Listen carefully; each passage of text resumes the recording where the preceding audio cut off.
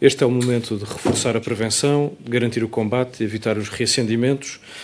Estamos todos diante de fatores meteorológicos críticos que se prevê que nas próximas semanas possam surgir em picos, portanto, com temperaturas que ultrapassem os 40 graus, quebras de umidade e ventos que favorecem a ocorrência de eventos deste tipo. Nestes dias mais imediatos estamos a viver uma acalmia face ao período crítico da semana passada, mas prevê-se que nas próximas semanas possa haver momentos muito difíceis e, portanto, é preciso repetir as mensagens de prevenção, evitar comportamentos de risco, respeitar as orientações emanadas da Autoridade Nacional de Emergência e Proteção Civil no que respeita a medidas preventivas, mas, acima de tudo, desde já dar uma palavra a todos aqueles que no terreno, com risco da sua própria vida, têm contribuído para o combate aos fogos que assolaram nas últimas semanas o nosso país e, muito em particular, os bombeiros, mas também todos os agentes agentes de proteção civil e serviços locais um, que contribuem para este combate e também os próprios particulares que se empenham na defesa daquilo que é uh, o seu património. Haverá um momento a seguir para avaliar, nos termos do quadro global que o Governo aprovou no início deste ano,